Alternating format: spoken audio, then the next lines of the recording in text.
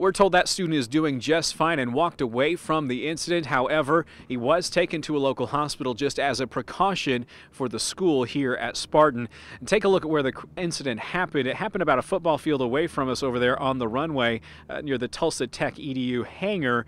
Uh, that plane, though, was quickly flipped back over and brought over here to uh, this hangar here behind me.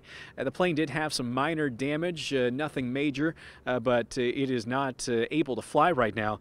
Uh, what happened, though, is uh, still under investigation. What we can tell you so far is it appears the plane went down, it bounced, came back up, and then possibly came down on its nose gear. However, the president of the campus says it's still under investigation. We're getting all of the information from both the instructor who was uh, watching the event because this was a solo flight. Uh, we also are, are, are, taking information in from the air traffic control tower. We have our FAA uh, inspector coming in from Oklahoma City. And we're told that plane is about 30 years old, but it did just come off of a fresh inspection and was good for another 100 hours. Reporting in Tulsa, Daniel Wynn, 2 Works for You.